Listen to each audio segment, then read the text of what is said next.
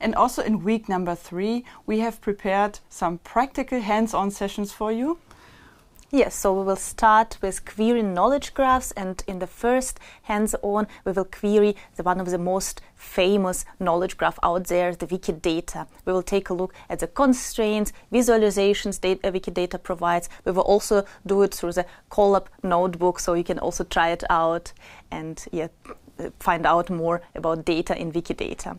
We also continue with the DBpedia and see the difference between the both knowledge graphs, how to query them, and um, yes, hope you find it interesting as well.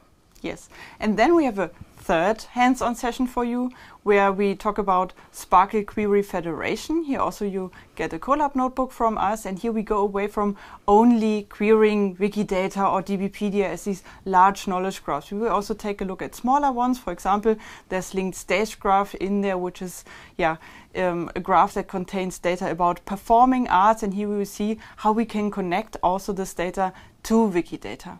And then in another example, we will talk about the GND and also see how we can connect that to Wikidata to further enrich also the data we have in smaller and more domain-specific knowledge graphs.